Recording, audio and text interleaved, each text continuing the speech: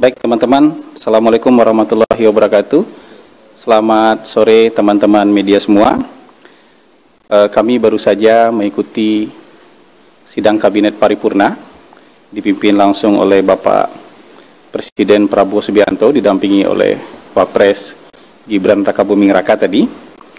Dan ada beberapa hal yang disampaikan oleh Presiden untuk penyampaian Presiden di uh, sidang yang terbuka tadi teman-teman tentu sudah mengikuti dengan sangat baik dan dalam keadaan yang uh, utuh pesan-pesannya tadi. Kemudian uh, dalam sesi tertutup tadi juga Bapak Presiden menyampaikan beberapa hal khususnya soal hasil perjalanan oleh-oleh beliau selama uh, berkeliling kunjungan muhibah kemarin ke beberapa negara. Uh, Presiden menyampaikan bahwa memang kunjungan pertama beliau itu dilaksanakan ke RRC karena itu bagian dari uh, adat istiadat kita di timur. Maka kunjungan pertama adalah ke negara di satu kawasan ya. Dan negara di satu kawasan ini yang terbesar uh, sejauh ini adalah Republik Rakyat Cina. Dan Presiden uh, Republik Rakyat Tiongkok. Terima kasih koreksinya Pak Melu Republik Rakyat Tiongkok dan di sana juga Presiden disambut dengan sangat baik. Bahkan di hari yang mungkin tidak biasa Presiden uh, eh, RRC uh, eh, menyambut tamu, kan itu menyambut tamu di hari Sabtu pada waktu itu. Jadi ini sebuah penghormatan yang luar biasa dan kita memang punya hubungan yang sangat dekat dengan RRT. Kunjungan kedua beliau dilaksanakan ke Amerika Serikat dan di sana juga Presiden ingin menunjukkan bahwa kita bisa berteman dengan siapa pun, bisa bersahabat dengan siapa pun dan dalam sisi ekonomi perdagangan Presiden memberikan equal access kepada negara mana pun. Jadi termasuk juga kepada investasi-investasi maupun investor dari Amerika Serikat. Uh,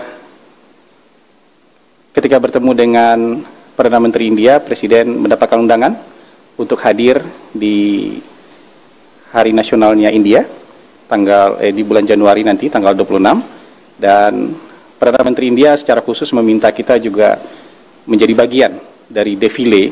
Jadi Presiden berencana mengirimkan TNI juga untuk berpartisipasi dalam defile pada Hari Nasional uh, India nanti. Dan Bapak Prabowo ketika bertemu dengan uh, Raja Inggris yang ada juga WWF di sana, kemudian WWF meminta kepada Pak Prabowo untuk ada wilayah konservasi bagi gajah. Waktu itu diminta 10.000 hektar di Aceh untuk wilayah konservasi gajah.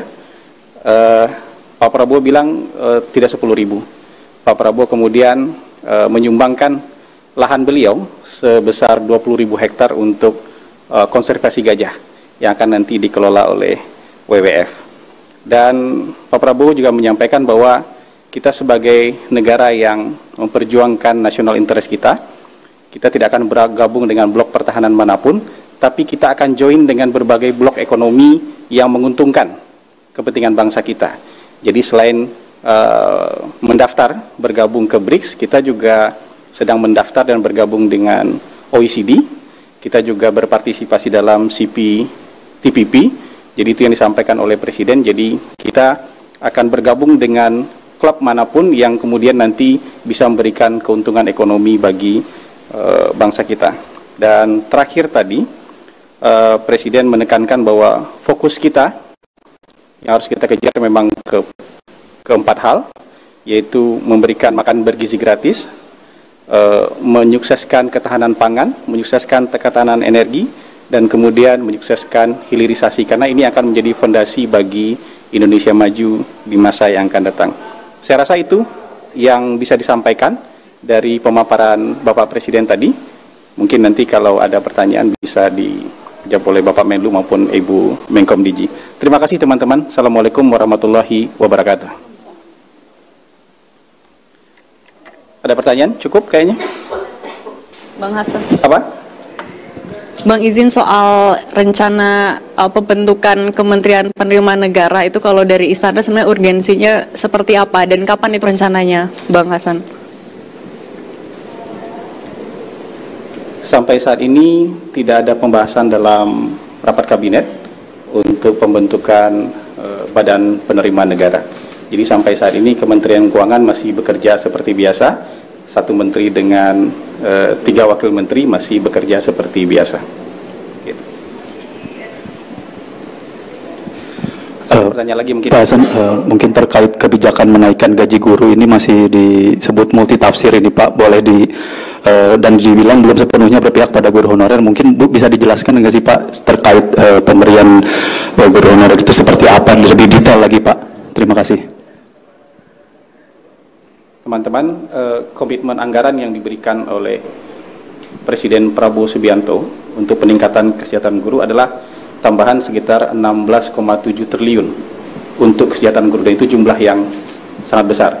Jadi total untuk kesejahteraan guru itu 81 triliun. Jadi tambahan 16,7 triliun itu tentu akan jadi peningkatan kesejahteraan yang signifikan bagi guru. Setidaknya nanti di tahun 2025 akan ada tambahan, ini setidaknya nih, padahal lebih banyak daripada ini, 600 ribu guru yang akan mendapatkan peningkatan kesejahteraan guru-guru yang ASN di antara 600 ribu ini, guru-guru yang ASN akan mendapatkan uh, penambahan uh, tunjangan sebesar satu kali gaji dan guru-guru non ASN akan ditingkatkan uh, tunjangan tunjangannya menjadi 2 juta rupiah. Ini akan melengkapi 1,3 juta guru yang sebelumnya sudah mendapatkan peningkatan kesejahteraan, tunjangan kesejahteraan. Jadi total nanti di tahun 2025 jumlah guru yang mendapatkan peningkatan kesejahteraan itu berjumlah 1,9 juta orang.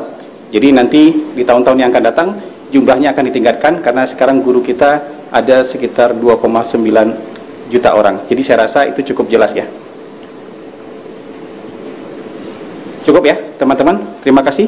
Selamat sore. Assalamualaikum warahmatullahi wabarakatuh. Izin Mas satu lagi soal pertemuan Pak Prabowo ke RRT kemarin Pak uh, Pak Menlu boleh mungkin sedikit. Uh, ini update-nya saja Pak. Ini terkait dengan uh, penegasan kembali kedaulatan Indonesia dalam uh, South China Sea. Ini seperti apa kalau dilihat update-nya? Karena kemarin setelah pertemuan Pak Prabowo ke uh, dengan Xi Jinping di RRT ini dari pengamat banyak yang menilai bahwa kedaulatan Indonesia terhadap LCS ini cukup melunak dinilainya Pak uh, bagaimana sebenarnya terkait dengan overlapping claims itu sebenarnya uh, mencakupi apa saja? Dan kalau diingat juga uh, yang kedua Pak Menlu sempat ke BRICS awal-awal uh, uh, setelah dilantik Presiden uh, update-nya apakah ada perbincangan ke arah sana juga? Seperti itu Pak. Terima kasih. Rio dari CNN TV Pak. Baik terima kasih.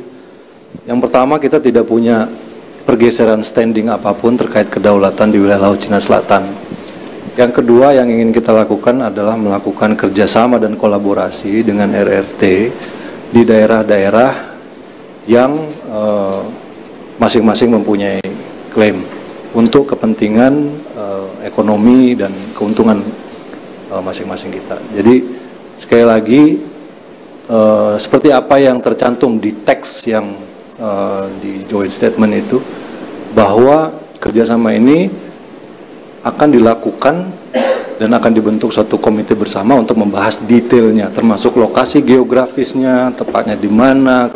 Dan masing-masing pihak juga tetap berpegang pada hukum yang relevan yang berlaku di masing-masing negara. Jadi tidak ada pergeseran standing mengenai masalah kedaulatan. Kemudian yang kedua mengenai uh, BRICS. Maaf tadi pertanyaannya Apakah uh, ya kita tahu Pak Menlu sempat uh, hadir di uh, konferensi di BRICS pada saat itu. Nah, setelah pertemuan dengan Pak Presiden dengan uh, Xi Jinping kemarin, apakah juga ada pembicaraan untuk update terkait dengan positioning Indonesia? Oh, maksudnya update positioning Indonesia di ya, BRICS. Ya.